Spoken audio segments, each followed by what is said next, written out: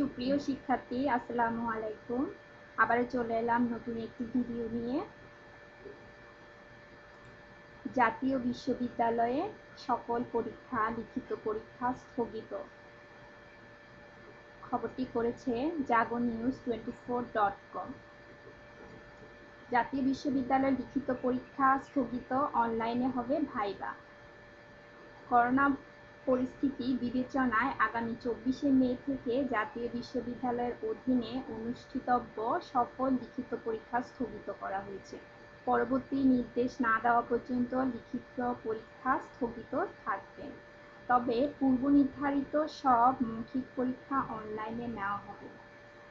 আজ মঙ্গলবার জাতীয় বিশ্ববিদ্যালয় থেকে পাঠানো এক বিজ্ঞপ্তিতে লিখিত পরীক্ষা স্থগিতের তথ্য জানানো হয়েছে। বিজ্ঞপ্তিতে বলা হয়েছে, স্থগিত সকল লিখিত পরীক্ষার সংশোধিত সময়সূচি পরবর্তীতে শিক্ষার্থী এবং সংশ্লিষ্ট সবাইকে অবহিত করা হবে।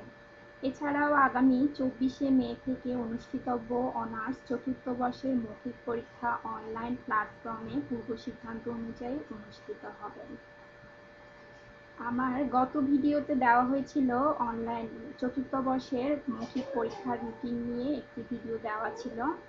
তো আপনারা চাইলে সেই ভিডিওটি দেখে আসতে পারেন। তো ভিডিওটি ভালো লাগলে লাইক কমেন্ট এবং সাবস্ক্রাইব করবেন চ্যানেলটি। ধন্যবাদ সকলকে।